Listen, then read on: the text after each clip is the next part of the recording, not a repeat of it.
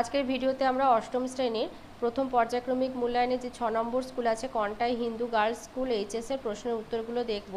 একে রায় বলেছে প্লবতা হলো বস্তুর ওপরে, ওপর তরলে দেয়া ঊর্ধ্বমুখী বল। দুই হচ্ছে, সময় বাড়ার সঙ্গে সঙ্গে পতনশীল বস্তুর বেগ বাড়তে থাকে। তিন হচ্ছে hydrogen one, hydrogen two, hydrogen three এই পরমাণু তিনটির মধ্যে সম্পর্ক। এরা হচ্ছে আইসোটোপ, কারণ এরা, এদের হচ্ছে প্রোটন সংখ্যাটা সমান। ভর সংখ্যা সমান হলে আইসো বার হয়। আর প্রোটন সংখ্যা সমান হলে আইসোটোপ হয়। দুইয়ের আই বলেছে এসআইতে আধান পরিমাপের একক হচ্ছে কুলম্ব। দুই বলেছে কার চাপ বেশি, সমুদ্রের জলের না বৃষ্টির জলের? সমুদ্রের জলের, কারণ সমুদ্রের জলের ঘনত্ব বৃষ্টির জলের ঘনত্বের চেয়ে বেশি থাকে, কারণ সমুদ্রেতে নুনের পরিমাণ বা লবণের পরিমাণটা বেশি থাকে, তাই সমুদ্রের জল বেশি ঘন হয়। দুই হচ্ছে সাধারণ উষ্ণতায় ব্রোমিন হচ্ছে তরল অবস্থায় থাকে, তো একটি তরল অধাতু হচ্ছে ব্রোমিন ব্রোমিন এমনিতে অধাতু। আচ্ছা চার হচ্ছে জল, একটি প্রশম অক্সাইড, এটা সত্য। তিনের আয়তে বলেছে, কলকাতা চেয়ে দার্জিলিংয়ে তোমার ওজন কম হবে না, বেশি হবে, ব্যাখ্যা করো।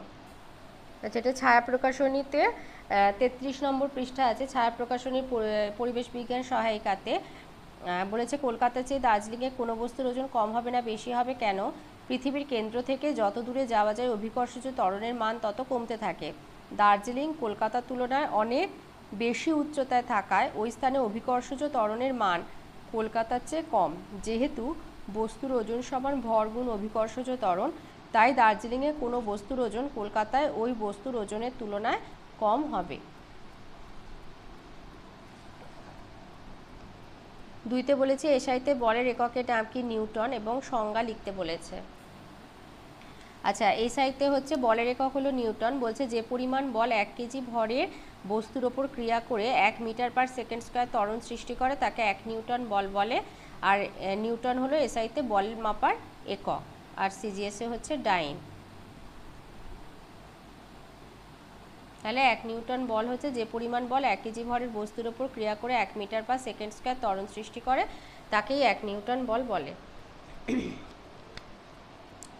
আচ্ছা দুই তিনেতে বলেছে, দুটি গ্যাস জারের একটিতে অ্যামোনিয়া আর অন্যটিতে হাইড্রোজেন সালফাইড আছে। কোন ভৌত ধর্মের সাহায্যে গ্যাসগুলিকে শনাক্ত করবে? তো গন্ধের সাহায্যে।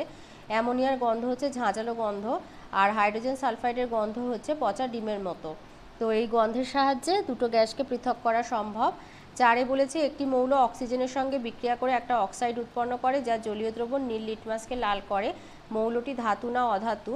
তো অবশ্যই মৌলটি অধাতু আর অক্সাইডটা হচ্ছে আম্লিক অক্সাইড। তো এই ছিল ছয়ের স্কুলের ফিজিক্যাল সায়েন্সের প্রশ্নগুলো, এবার লাইফ সায়েন্সের প্রশ্ন। তো একেতে বলেছে, শূন্যস্থান পূরণ, আই হচ্ছে গলগি বডির সৃষ্টি হয় কি থেকে? এন্ডোপ্লাজমীয় জালিকা থেকে।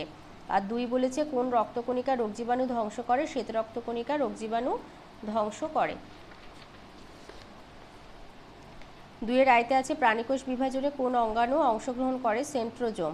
আর দুয়েতে আছে, স্নায়ুকলার একটি উল্লেখযোগ্য কাজ লেখো আচ্ছা স্নায়ুকলার অনেক রকমের কাজ আছে। সংবেদন গ্রহণ করা, উদ্দীপনা পরিবহন করা, দেহের বাইরে এবং ভিতরের পরিবেশের মধ্যে সমন্বয় সাধন করা, পেশি সংকোচন ঘটানো, গ্রন্থির ক্ষরণ নিয়ন্ত্রণ। তো যেহেতু প্রধান কাজ বলেছে, তো আমি বলব দেহের বাইরে এবং ভিতরের পরিবেশের মধ্যে সমন্বয় সাধন করাটাই প্রধান কাজ। তো এই পয়েন্টটা আমরা প্রধান কাজ হিসাবে দেব, দেহের বাইরে এবং ভিতরের পরিবেশের মধ্যে সমন্বয় সাধন করা। তিন বলেছে বর্ণহীন প্লাস্টিডের একটি কাজ লেখো, তো বর্ণহীন প্লাস্টিড হচ্ছে লিউকোপ্লাস্টিড। আচ্ছা এটা আমাদের পাঠ্যপুস্তকের একশো ছিয়াশি নম্বর পৃষ্ঠাতে আছে। এই যে নানা ধরনের খাদ্য সঞ্চয় করা, এদের হচ্ছে লিউকোপ্লাস্টিড। তাহলে লিউকোপ্লাস্টিডের কাজ হচ্ছে নানা ধরনের খাদ্য সঞ্চয় করা। তাহলে এদের একটি কাজ হচ্ছে নানা ধরনের খাদ্য সঞ্চয় করা।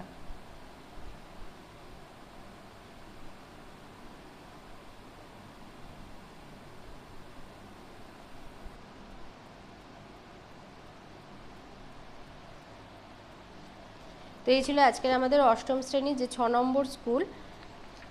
তার প্রশ্নের উত্তরগুলো।